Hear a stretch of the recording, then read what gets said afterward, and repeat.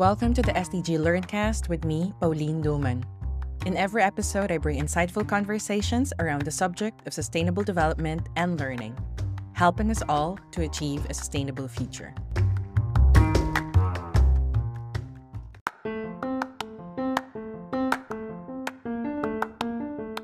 In this episode, we will look into the pressing threats faced by two of our planet's vital ecosystems the Amazon rainforest, often referred to as the lungs of the earth, and the Congo Basin, the ecological heart of Africa.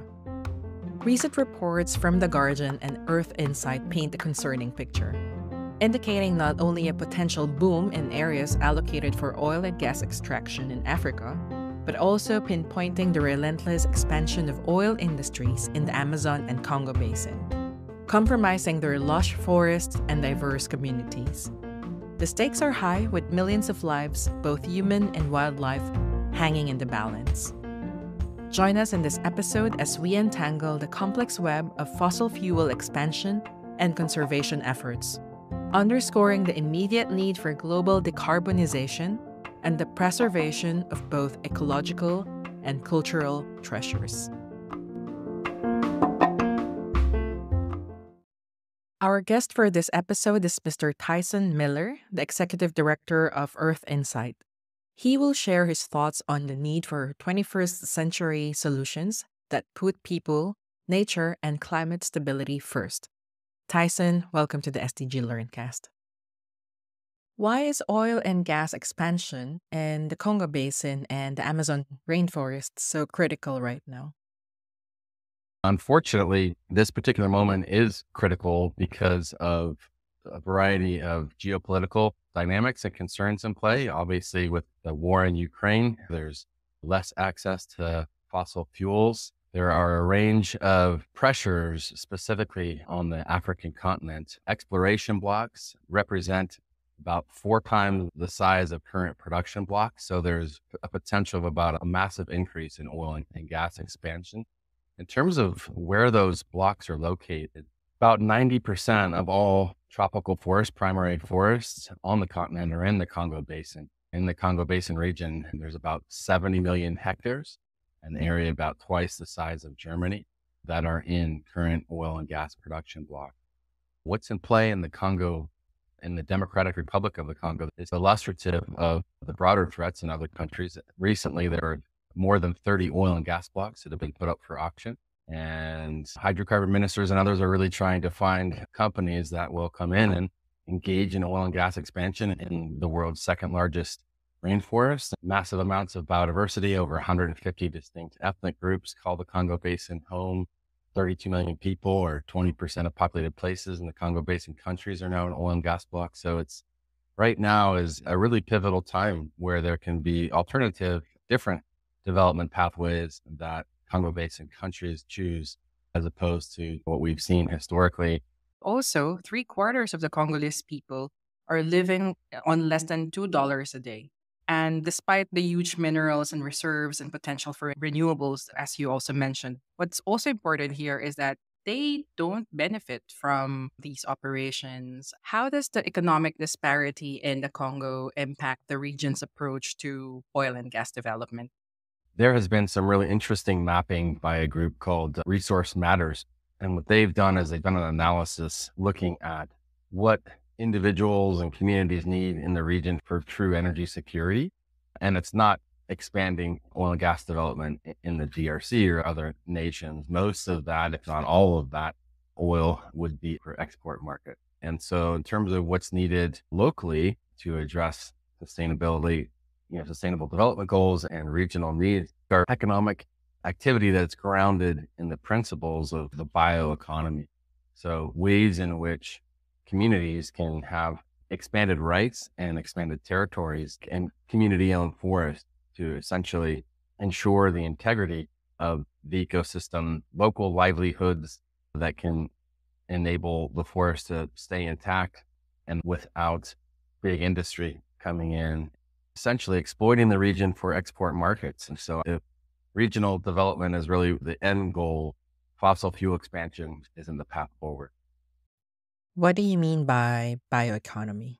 It's going to obviously differ in different regions. There are a range of indigenous nationalities and federations who are developing life plans for how different types of economic activities can move forward without essentially fragmenting the forest or bringing in large industrial activity. So, in terms from a solution standpoint, there's a lot more that's needed for local organizations to define what type of economic activities they intend to move forward on while maintaining the integrity and the health of the ecosystem.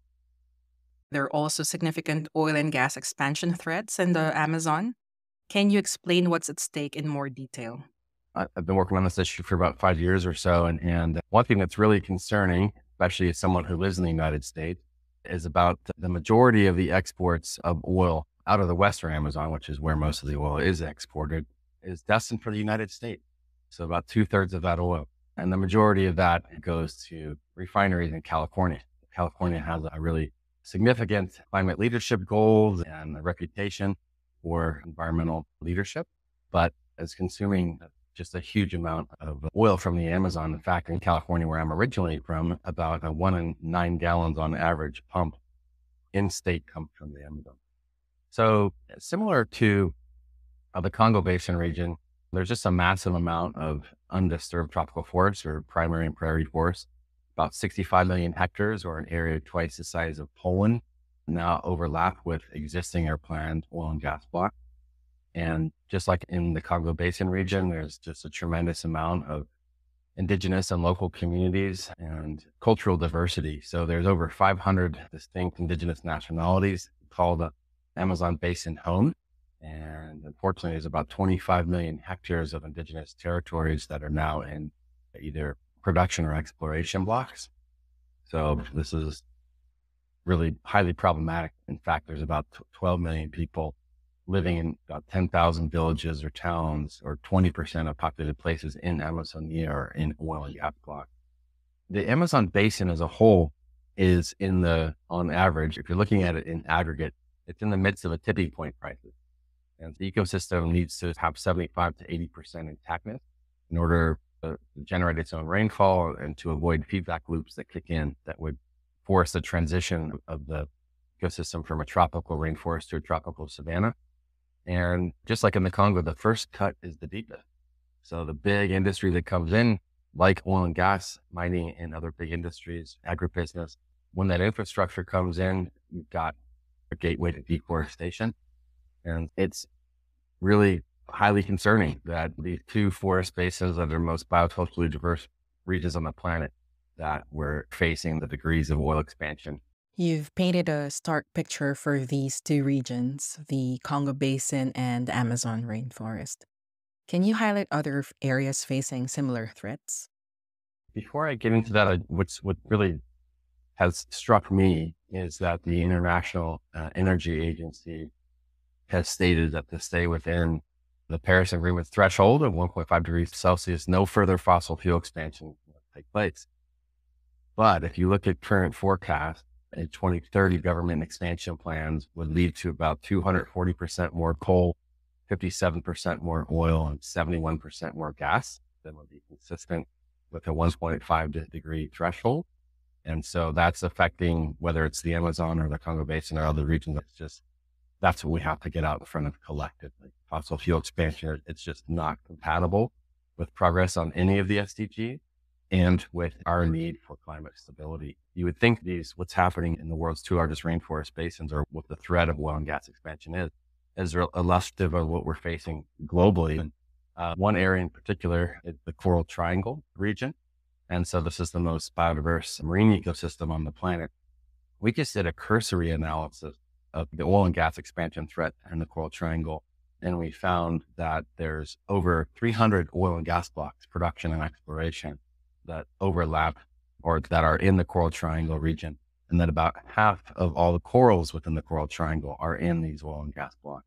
We did do a deeper dive for the uh, Banking on Climate Chaos report of the LNG or the fossil gas build out in the Batangas province or in the Philippines, the Verde Island Passage, and found that there's all sorts of concern and what that might mean for increased shipping intensity.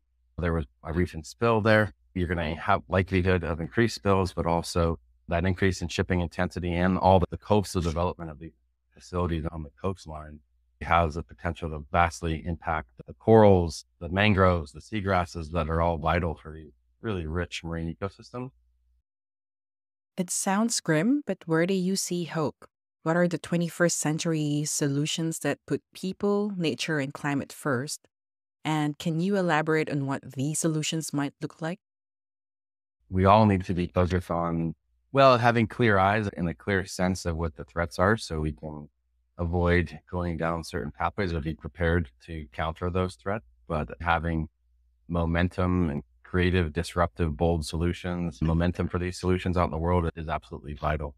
I'll just mention that in both the reports we produced, Congo and the crosshairs, and then the crisis point, both looking at the oil and gas expansion threats to the Congo Basin region and the Amazon, and certainly profile a range of different solutions that are out there in the core part of, of our analysis. I'm struck by a few solutions, frameworks that are out there in the world that are really gaining momentum and steam. One of those is the Fossil Fuel Non-Proliferation Treaty. Find more about that at the website fossilfueltreaty.org. It's gaining steam with island nations calling for other nations to commit to no uh, fossil fuel expansion. A really bold, simple, clear solution. At the at COP15, there was the launch of the prim- moratorium on industrial activity in primary forest, which is vital. We need to be focusing on areas that have already been impacted, sustainable intensification, and in exchange for or in addition to drawing lines in the sand around the areas that are intact. A lot of the, the oil and gas development and oil and gas development, let's say, go back to the Western Amazon uh, in Ecuador specifically, but in a range of other nations, that staying back loans is driving a lot of the industrial expansion. And so a widespread conditioned debt forgiveness in exchange for keeping oil and gas on the ground and expanding protected areas could be a, a really pivotal solution. I think to the extent that banks and financial institutions are really out in front and saying, hey, we won't commit to any fossil fuel expansion is key. You've seen a number of those commitments that they need to be strong and without loopholes. And when I was working on the campaign in the Amazon, there were ING and BNP Paribas were a couple of banks that made those commitments for the globally, but also for the Amazon region. If we look at history, you can see, especially like in Brazil, when they were able to cut their deforestation rates pre-Bolsonaro by 80%, a lot of that was because developed nations were providing resources in the form of payments for ecosystem services that enabled some of the new policies and code, a whole next generation of what payments for ecosystem services looks like is really critical.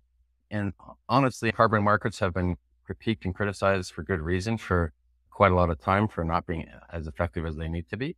But there's a lot of potential with respect to high integrity carbon markets where you can leverage those dynamics and the interest and the desire of companies to offset their impacts and their emissions through carbon markets.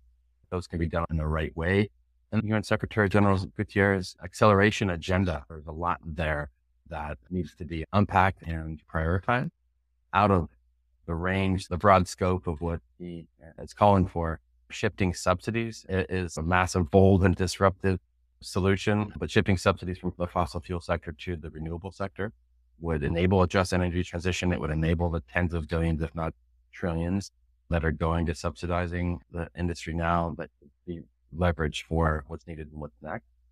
Putting a price on carbon, effective carbon tax as a disincentive has been talked about, but really implementing that on a global scale, I think is vital. Can we really achieve sustainable development without the oil and gas companies, without the oil and gas expansion? Can the world really move on without them? And if yes, how? It's a critical question for our collective and shared future. There needs to be transition on ramps or off ramps, I should say. But yeah, the short answer to the question is can the world move forward without fossil fuel companies, or to, in what way can we hit the goal with or without their engagement? The short answer is yes, that the world can move forward without fossil fuel companies having the power, the grip on decision makers and policies that these companies have had. What's really critical and what's needed is a collective commitment to the managed decline and phase down. And a reorientation of subsidies that are currently going to the fossil fuel sector. And if we've got these principles, those two are vital among them. I think certainly if we can go to the moon, yeah, then we can reorient our priorities and our focus and collectively align towards a path that for our shared future. Fossil fuel companies need to get out of the way and not subvert policies and try and, and leverage opportunities for every last drop honestly. I think that's what's critical and necessary. And if we can finance massive like to the tune of trillions of dollars, we can finance the restoration economy. We can find the solutions pathways. And it's not easy to say, hey, let's transition all of these trillions in subsidies from a, a sector and industry that's pushing us off a cliff.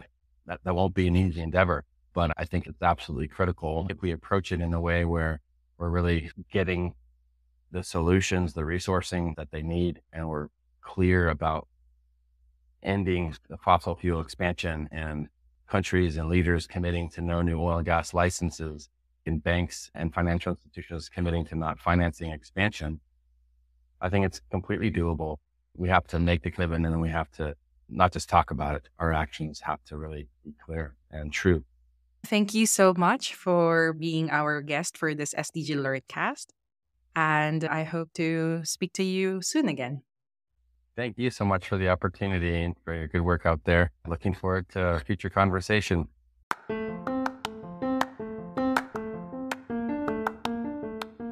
That was Tyson Miller of Earth Insight. What did we learn from this episode? First, there are serious threats to our vital ecosystems. The Amazon rainforest and the Congo Basin rich in biodiversity and cultural significance, are under grave threat primarily due to the aggressive expansion of the oil industry. An alarming projection suggests potential quadrupling of areas in Africa targeted for oil and gas extraction, endangering the essence of the Congo Basin. Such expansions not only jeopardize the ecological sanctity of these regions, but also pose socio-economic challenges for the 35 million inhabitants within. Second, we also learned from this episode that there is an urgent need for decarbonization strategies. As nations grapple with escalating energy demands amid global geopolitical shifts, it becomes imperative to adopt robust decarbonization strategies. We explore the nexus between fossil fuel interests and global conservation commitments, underscoring the need for international dialogues on conservation. And lastly, Tyson highlighted potential solutions and reforms to counter these threats.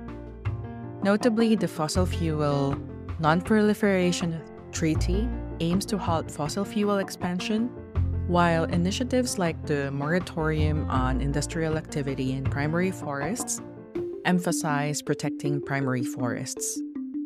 Financial reforms are also seen as a pivotal solution, with a push for banks to lead against fossil fuel expansion and for the redirection of subsidies towards restoration. You can find more of the SDG LearnCast on the UN SDG Learn website. For now, I'm Paulyn Duman. Thanks for listening.